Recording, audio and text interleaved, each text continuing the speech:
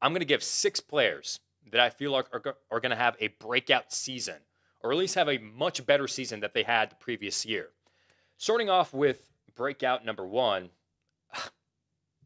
If you're a viewer, you know I love this guy. Antonio Gibson. The running back of the Washington football team is set to have a breakout season. Head coach Ron Rivera wants Antonio Gibson to run more passing routes in that offense. I said when the head coach says that something is going to happen, it's going to happen. And I know you could say, oh, well, head coaches lie all the time. Well, Ron Rivera was true to his word because based off the preseason use- usage of Antonio Gibson and how he utilized them in different routes and formations and lining him up out wide, and uh, even in college, he was more of a receiver than a running back. So, I mean, Ron Rivera is aware of that and he wants to utilize that, having been in the position of coaching Christian McCaffrey, who is one of the best uh, receiving backs in the NFL. He wants Antonio Gibson to be the same. And to back that up, to back that claim up, Kyle Allen, quarterback of the Washington football team, stated, yes, we are using Antonio Gibson in a CMC kind of role in Washington during practice. So he's a star player of the offense. I know Terry McLaurin as well at the wide receiver position, but besides him, it's Antonio Gibson that is either the best player or the second best best player on that offense.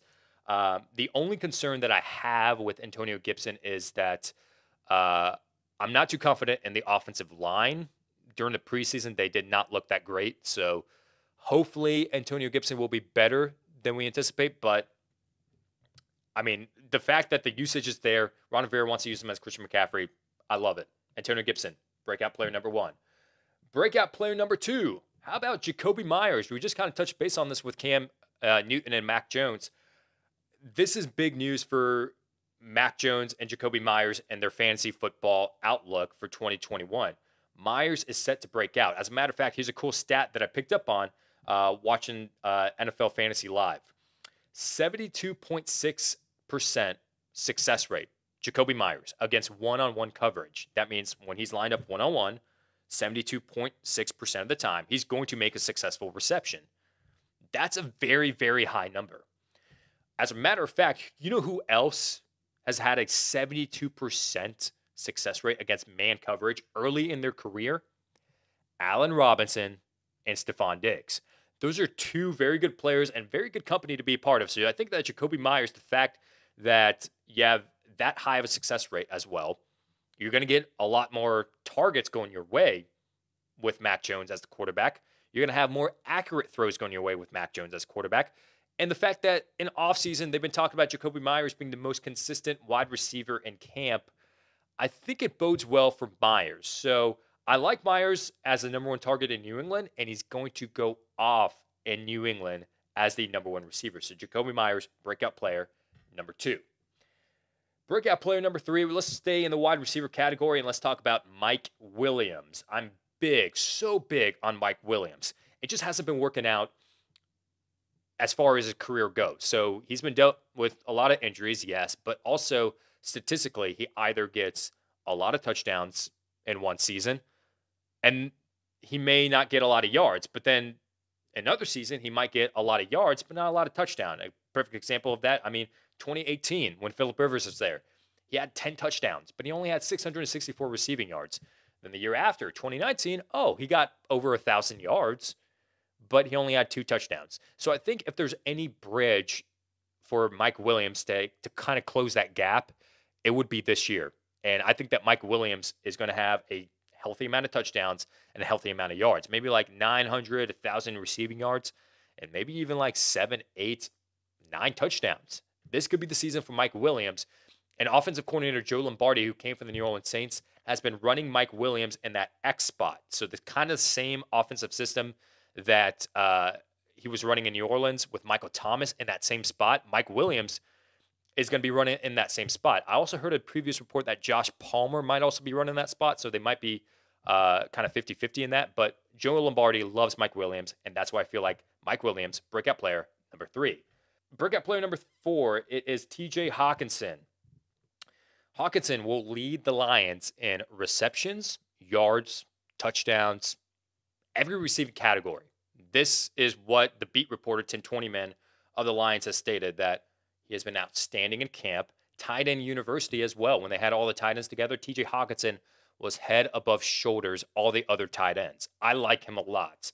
And he, he kind of already broke out last year 67 receptions, 723 yards, and six touchdowns.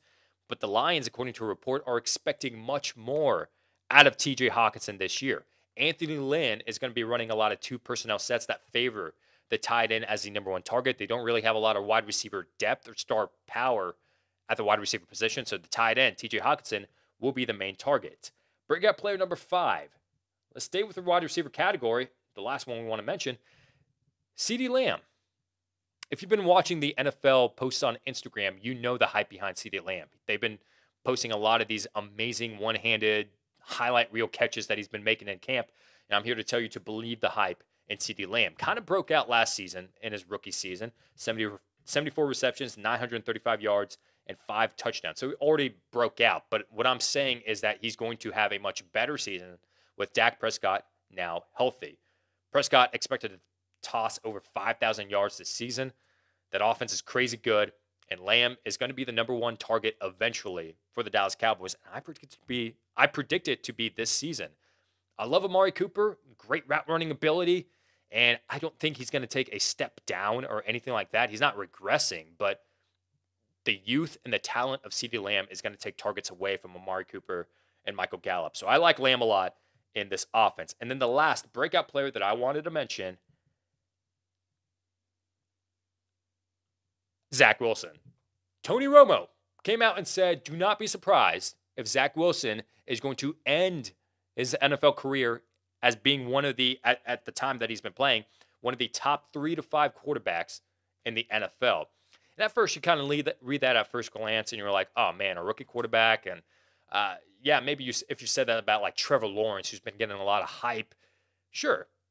But with Zach Wilson, you're like, "Oh, come on, Tony, what are you talking about?" And then you really think about it, and it's like, okay, I'd rather trust Tony Romo's uh, analysis on a player than uh, random YouTube or Instagram comments from these people that don't really know what they're talking about. So you can give your opinion on that.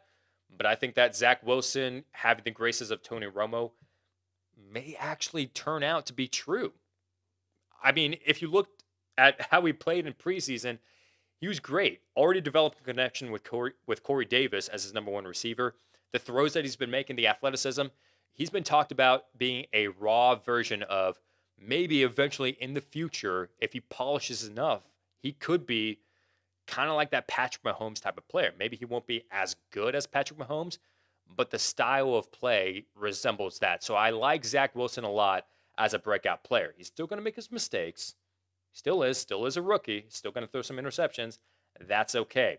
But according to camp, he's been accurate, aggressive, and comfortable in the Jets offense. So Zach Wilson, my last breakout player of 2021.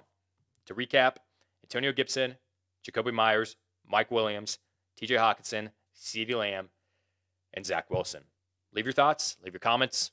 Let us know what's what are some breakout players that you guys have for the 2021 season.